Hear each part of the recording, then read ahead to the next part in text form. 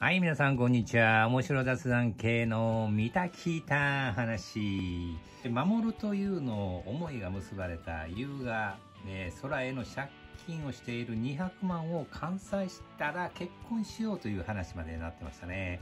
まあ、実際にね、4ヶ月で200万を返す偉業を成し遂げるんですね、優は。と思いきや、アルバイトの木戸が盗作騒動を起こすんです。いや、実は、この木戸の盗作騒動は、守ると怒りが仕組んだ大芝居だったという話を今日してみたいと思います。スリースターブックス再建のために、フォレストモバイルとの提携とコラボ企画が実現するんです。まあ、人気漫画家の野田、これはね、山口勝平が演じてるんですよね、声優の。この作品を私塾に、碇がま先導することになったんですが、実は碇は当初から、えまず木戸がアルバイトで入社してきた時点で、まあ、この木戸怪しいなと直感してたんですね。まあ、スリスターブックスではまずアルバイトとして雇われるんですが、このアルバイト、まあ、フランス語、タガログ語を話せるトリリンガルなんですよ。えー？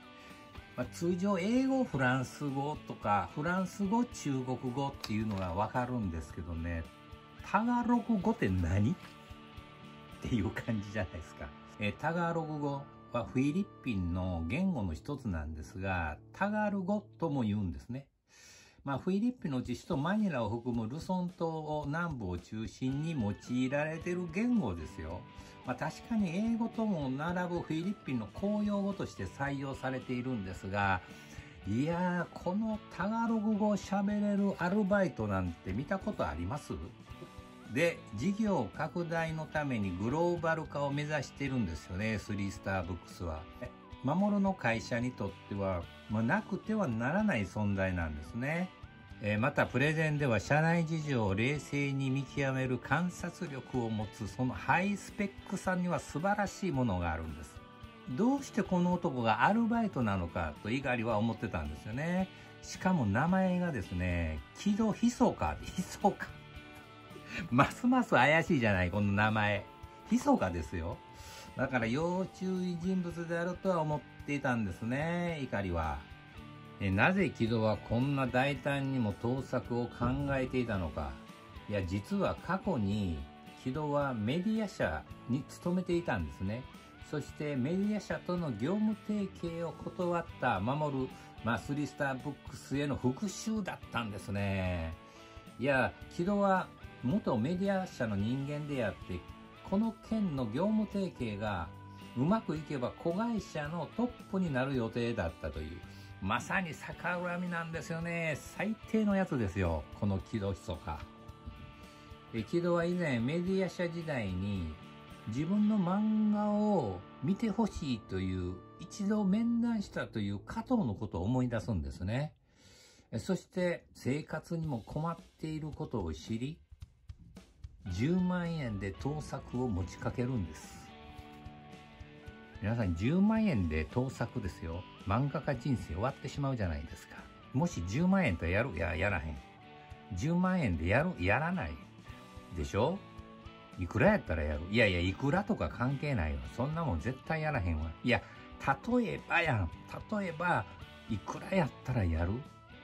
いややらへんよ。そんな漫画家や。んそれ人生終わってしまう。漫画家の人生も終わってしまうやそんな盗作したら。いやそこをあえていくらやったらやるって聞いてんねん。だもうやるんやったら1億やな。1億誰が払うんそんなん。いやいや違うやん。1億って払わへんやん。そんなん気度持ってる。10万円すらも出さへん。アルバイトやで。アルバイトの立場で1億ってどういうことなん？いや、君が言う、ケイ君が聞いたから1億。いや、それあかんわ。そんなこと言うたらあかんわ。君。いや、君やないや。えしかし加藤はスリースターブックスの怒りとは窮地の中であったんですね。だから加藤は古くから面倒を見ていただいている怒りにこの件を改めて相談するんです。だから、古く新たなんです。いやいや、古田新たなんやろ。古田新太さんや。もちろん生活にどんなに困っていても決して漫画人生を終わってしまうようなことは決してならないとかとも思うんです。まあ当たり前ですよね。怒りは木戸が元メディア社の人間であることを知ってしまうのであります。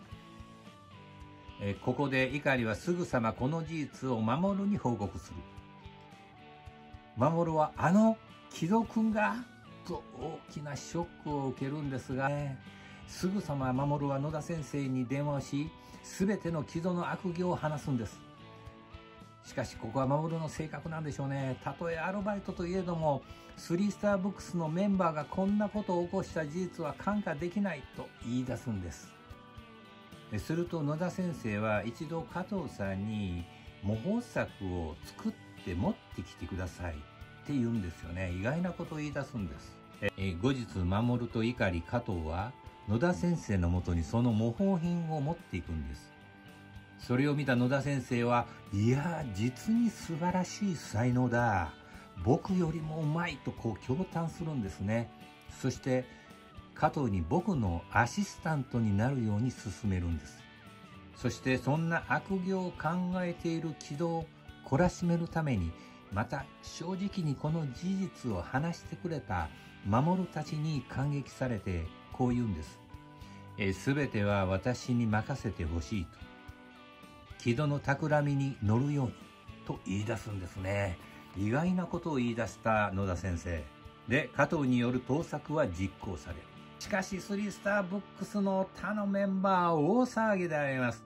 出版社も訴訟訴訟と騒ぎ立てる。まあ、木戸一人が復讐が達成できたと歓喜しているんですね、心の中で。いや、最低やんけど、知らんのお前だけやで。守たちは出版社へ謝罪に行く。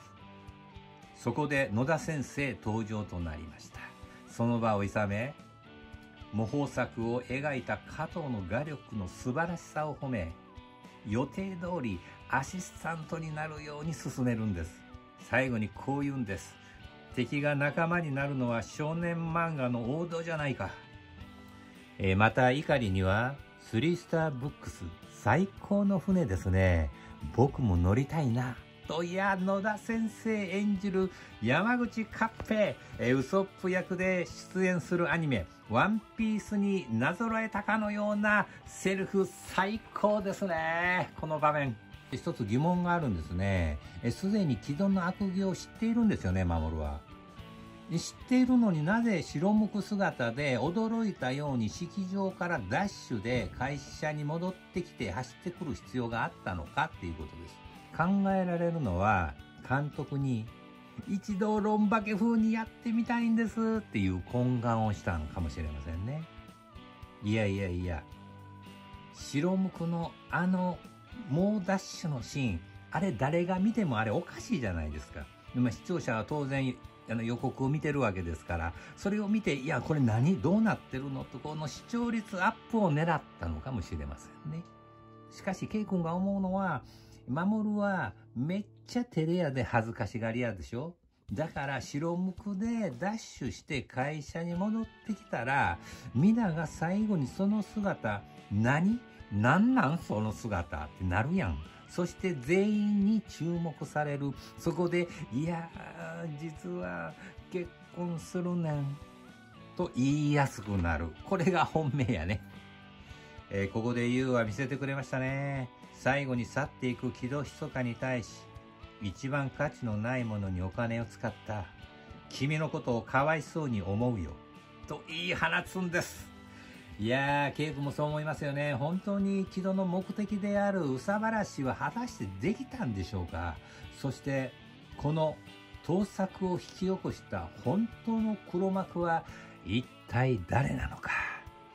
いやー、次回がまた楽しみですよね。それではまた、さよなら、バイバーイチャンネル登録よろしくね。